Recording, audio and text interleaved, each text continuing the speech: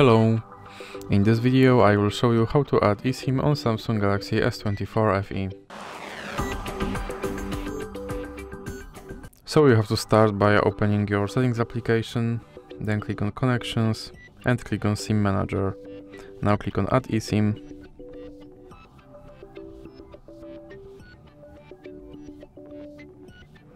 And then click on scan QR code. Now you have to scan your QR code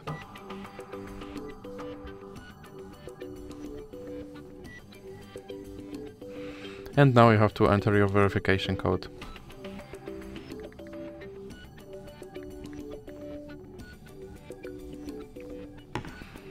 And you have to wait for your eSIM to be downloaded.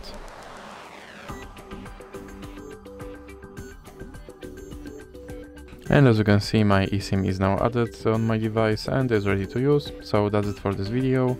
If you liked it, please remember to leave like and subscribe.